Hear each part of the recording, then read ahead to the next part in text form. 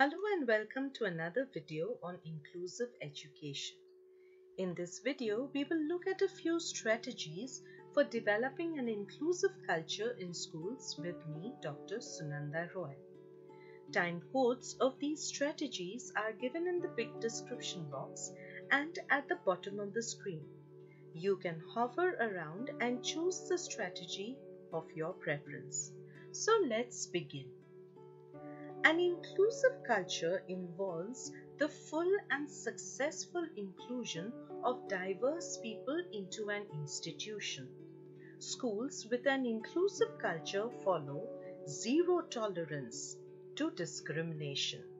This means that discrimination between students is not acceptable in any activity that is carried out by the school.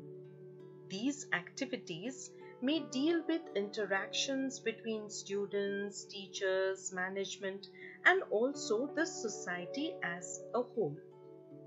Inclusive policies are developed and implemented without any hesitation. Problems are solved collaboratively by giving equal opportunities to all members for voicing their opinions.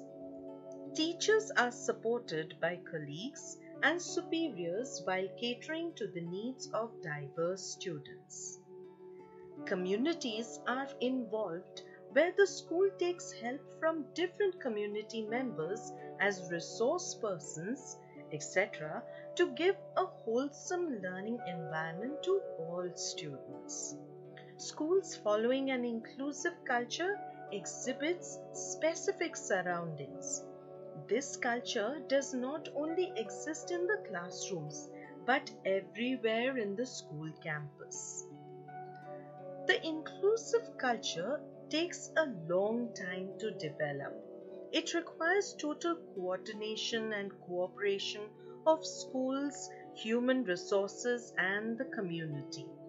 There are various strategies to develop inclusive cultures in schools Let's have a look at some of them with the help of building blocks.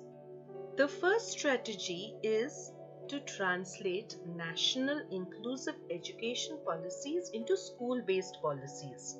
Efforts are taken in developing school policies for inclusive classroom environments involving schools, teachers, municipal officers, school administrators, parents and children as well as other stakeholders.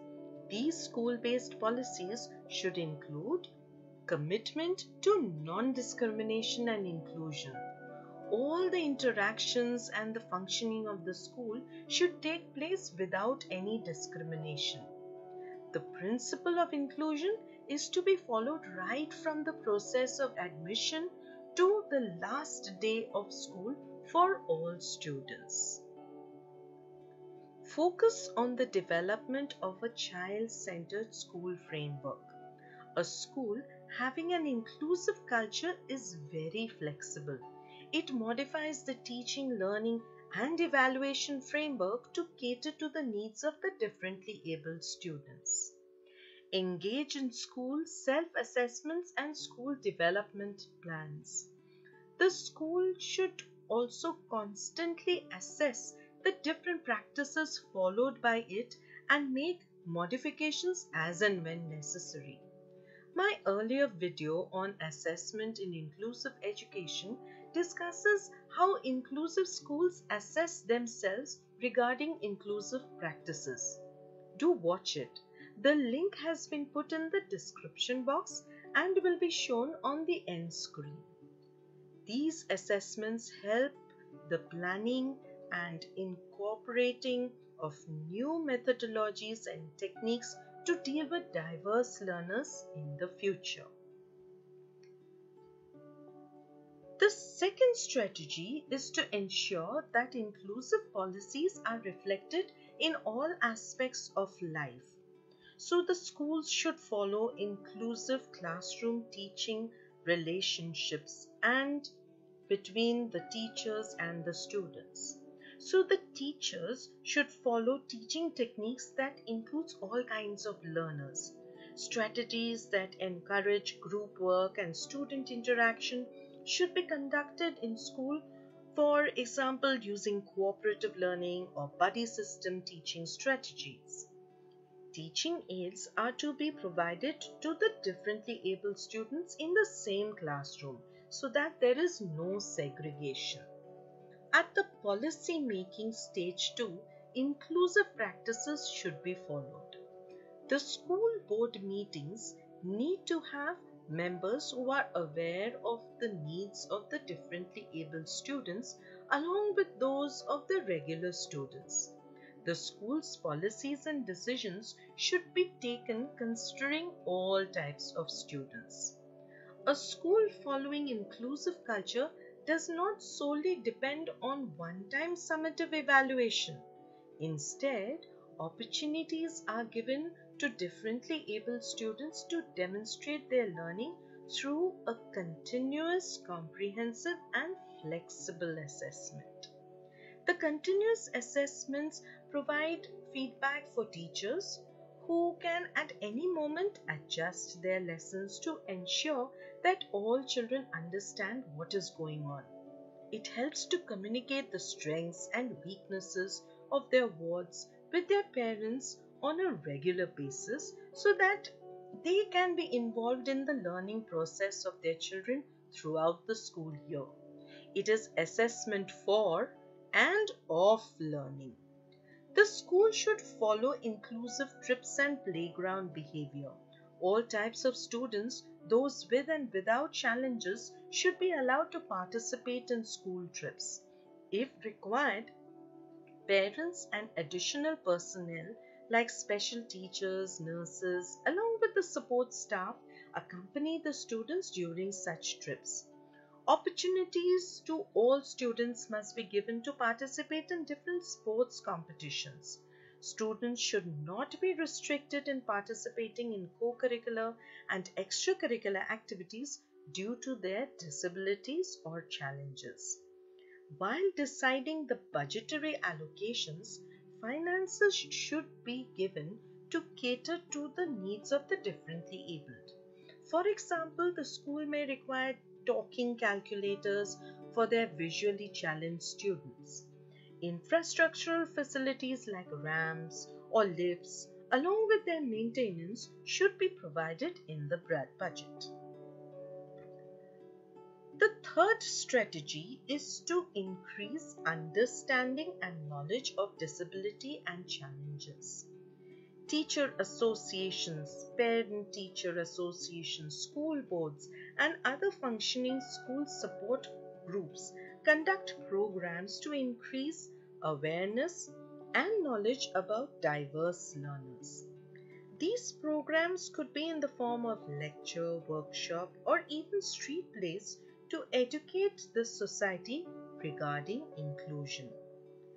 These awareness programs can help in developing a positive attitude towards the differently abled students of the entire community. The fourth strategy deals with involving parents in monitoring the differently able students in order that the systems are transparent and accountable to them and the children.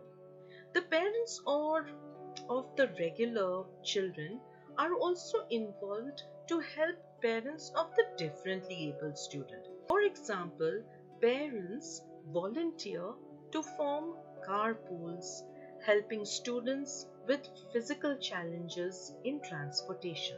Thus, parents are very actively involved in schools having an inclusive culture.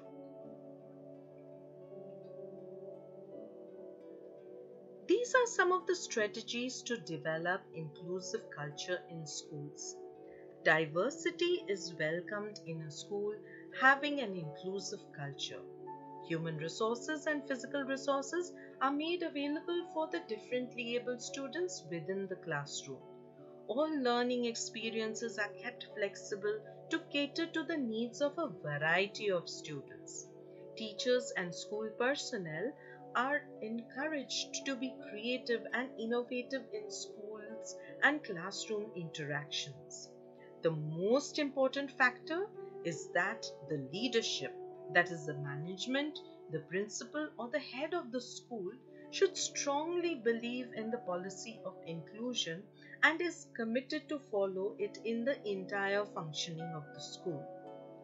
Developing inclusive school culture is not only the responsibility of the school personnel but also the various members in the society. Thus, it is a collaborative effort. Please check out this site for further reading. It is a very comprehensive booklet addressing various aspects of inclusive education. The link has been given in the description box also. Plus, please visit my channel and watch my other videos where different inclusive teaching strategies, assessment, infrastructural facilities, and other topics related to inclusive education have been discussed. The links have been given in the description box and on the end screen. If you have liked the video, do give a thumbs up and don't forget to subscribe to my channel. Thank you for watching.